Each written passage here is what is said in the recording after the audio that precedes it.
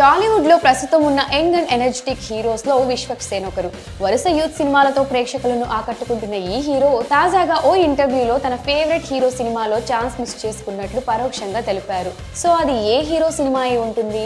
ఎందుకు ఆ ఛాన్స్ను విశ్వక్ మిస్ చేసుకున్నారు అనే చర్చ ఇప్పుడు సోషల్ మీడియాలో మొదలైంది. దీంతో వరుసగా విశ్వక్ ఫేవరెట్ హీరోస్ ఎవరా అని ఆరా తీస్తున్నారు నెటిజన్లు.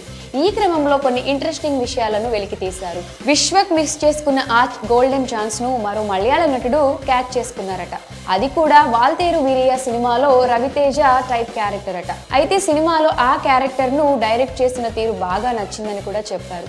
ఆ సినిమాకు నో చెప్పారట విశ్వక్. అయితే ఇండస్ట్రీలో విశ్వక్కు బాగా ఇష్టమైన ఇద్దరు హీరోలు ఎవరు అంటే బాలకృష్ణ తారక్ అని అందరూ చెప్తుంటారు.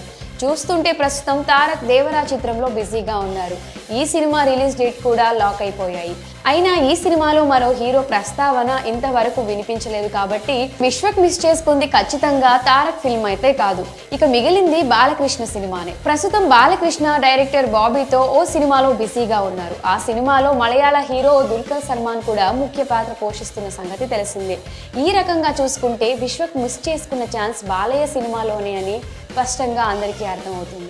అయితే ఇప్పుడు హీరో బాలయ్య సినిమాలో నటించే ఛాన్స్ ఎందుకు మిస్ చేసుకున్నారో తెలియదు కానీ ఒకవేళ ఈ ఛాన్స్ కనుక విశ్వక్ యూజ్ చేసుకున్నట్లయితే బాలకృష్ణ విశ్వక్ల మధ్య ఉండే సీన్స్ చాలా అద్భుతంగా ఉండేవి అని ఇన్సైడ్ టాక్ అది కూడా బాబీ డైరెక్షన్ కాబట్టి ఇది నెక్స్ట్ లెవెల్లో ఉండి ఉంటుందేమో అని అభిమానులు భావిస్తున్నారు. మరి విశ్వక్ బాలయ్య సినిమాలో ఛాన్స్ మిస్ చేసుకోవడంపై మీ అభిప్రాయాన్ని కమెంట్ సెక్షన్లో కమెంట్ చేయండి.